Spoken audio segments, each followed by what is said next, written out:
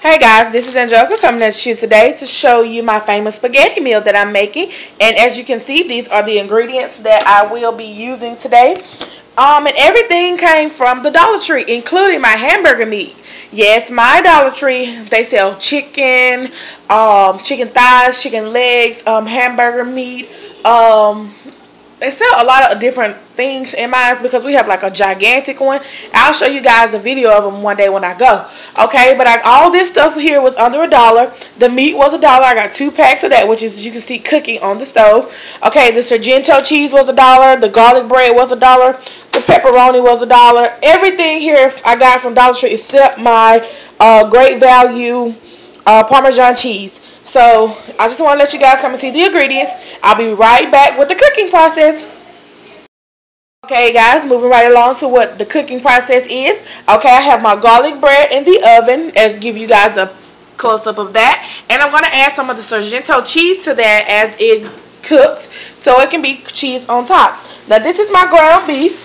It has been cooking for um, about 20, 15, 20 minutes. Um, I had started off on low because I had it was unthawed, but it was not unthawed all the way out.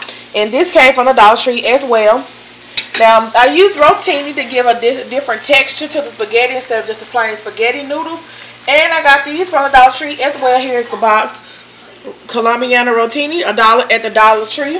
And these have been boiling uh, for about 10 to 11 minutes and I had my water boiling before um, I started. They're almost ready. They're kind of still kind of hard a little bit. I'm giving about a few more minutes. So, yeah, you guys, everything is coming together really good. And I'll be back to show you guys the next video. Okay, guys, you can see my hamburger meat is done cooking. So, I don't use a strainer um, on my meat um, because I just don't like the... Um, the way that it leaves the meat looking. So I use um, my Pyrex bowl and I pour my hamburger meat into there as such to let it drain. I like it like that. It's better to me. You don't have to use do yours, you know, as that way. But this is the way that I um, drain my hamburger meat and I don't like to drain over my sink because the grease and stuff can clog up your sink. Um, so yes, you guys, this is how I drain my meat and then I let it sit for a minute and I, you know, pat it a little bit to help get the grease around. Okay? Okay guys, my noodles are done. You can see they're they're they're thicker now. So I'm gonna take them off the stove take take one off the thing, sit it here. I'm going to pinch it to, you know, see if it's to my consistency, my liking. Uh, I'm going to, okay, pretty good. It's, it's not too hard, still, you know, it's not too soft, it's not mushy.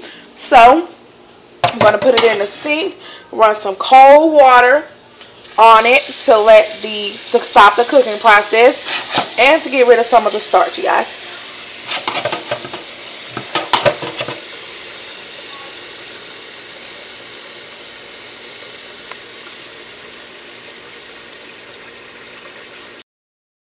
Okay guys, I'm checking on my garlic bread.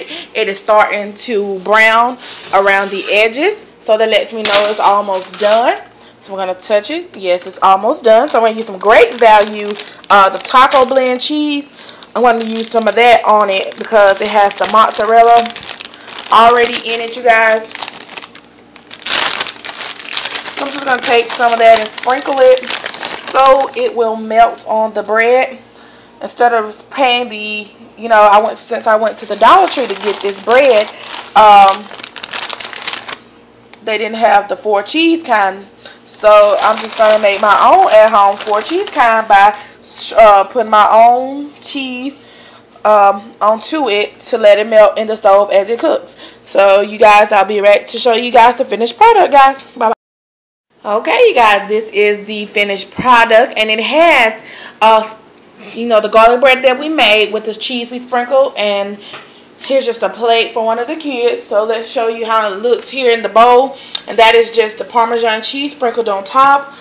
Along with another pack, I have a pack of Sargento cheese in here.